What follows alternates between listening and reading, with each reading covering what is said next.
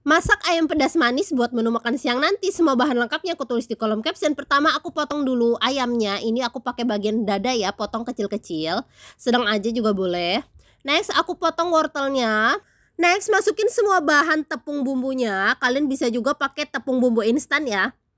Aduk yang rata lalu aku ambil sebagian kasih air dan juga telur yang udah dikocok aduk rata. Masukkan ayamnya ke dalam tepung basah lalu ke tepung kering. Bisa diulang dua kali ya biar agak tebelan tepungnya. Next aku goreng dalam minyak panas. Aku pakai kompor induksi Idealef deh. Ini gampang banget pemakaiannya dan gak bikin pantat panci cepet hitam. Aku juga pakai wok cookware pan dari Idealef deh. Ini ada penirisnya bun. Jadi gampang deh.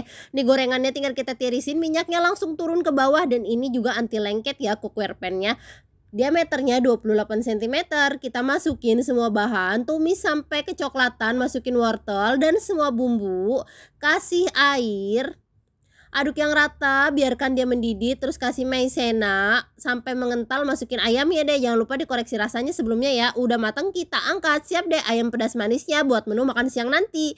Yuk bikin